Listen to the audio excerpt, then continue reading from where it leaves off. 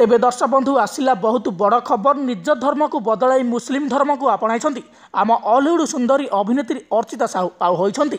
ଲୋକମାନଙ୍କର ଆକ୍ରୋଶର ଶିକାର। ହେଲେ ଅଭିନେତ୍ରୀ ଅର୍ଚ୍ଚିତା ସାହୁ କ'ଣ ପାଇଁ ନିଜ ଧର୍ମକୁ ବଦଳାଇଲେ ଏବଂ କେଉଁ କାରଣ ପାଇଁ ସେ ଏମିତି କଲେ ଯଦି ଆପଣମାନେ ଜାଣିବା ପାଇଁ ଚାହୁଁଛନ୍ତି?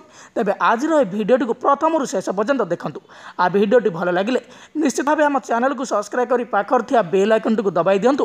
ଏହିଭଳି ନୂଆ ନୂଆ ଓଡ଼ିଆ ସିନେମା ଏବଂ ସିରିଏଲ ଦୁନିଆ ବିଷୟରେ ଆହୁରି ଅଧିକ ଜାଣିବା ପାଇଁ। ତେବେ ଦର୍ଶକ ବନ୍ଧୁ ଆପଣମାନେ ତ ଅଭିନେତ୍ରୀ ଅର୍ଚ୍ଚିତା ସାହୁଙ୍କୁ ବହୁତ ଭଲ ଭାବେ ଜାଣିଥିବେ। ସେ ଆମ ଅଲିଉଡ୍ ଇଣ୍ଡଷ୍ଟ୍ରିର ଜଣେ ଆଗଧାଡ଼ିର ଅଭିନେତ୍ରୀ।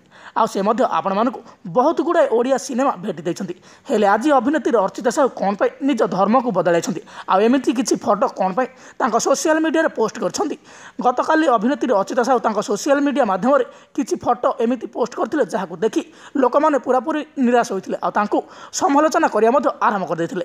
ଅଭିନେତ୍ରୀ ଅର୍ଚ୍ଚିତା ସାହୁଙ୍କୁ ଏଥିରେ ଦେଖିବା ପାଇଁ ମିଳିଥିଲା ଗୋଟିଏ ମୁସଲିମ ଗେଟାପରେ ହେଲେ ଏହାର ସତ୍ୟତା ଜାଣିଲା ପରେ ସମସ୍ତେ ଅଭିନେତ୍ରୀ ଅର୍ଚ୍ଚିତା ସାହୁଙ୍କୁ ମଧ୍ୟ ଏବେ ବାବା କରୁଛନ୍ତି। କାହିଁକି ନା ଅଭିନେତ୍ରୀ ଅର୍ଚ୍ଚିତା ସାହୁ ଏବେ ଆପଣମାନଙ୍କ ପାଇଁ ଏକ ନୂଆ ଓଡ଼ିଆ ସିନେମା ନେଇ ଆସୁଛନ୍ତି ଯାହାର ନାମ ରହିଛି ସାହେବା ବେଗୁମ୍ ଏହା ଏକ ମୌଳିକ କାହାଣୀ ଏବଂ ଏଥିରେ ଜଣେ ମହିଳାଙ୍କ ଜୀବନ କାହାଣୀକୁ ନେଇ ଆଧାରିତ ହେଉଛି ନୂଆ ଓଡ଼ିଆ ସିନେମା। ଆଉ ଏଥିରେ ଅଭିନେତ୍ରୀ ଅର୍ଚ୍ଚିତା ସାହୁ ଜଣେ ମୁସଲିମ ଗେଟପରେ ନଜର ଆସିବା ପାଇଁ ଯାଉଛନ୍ତି।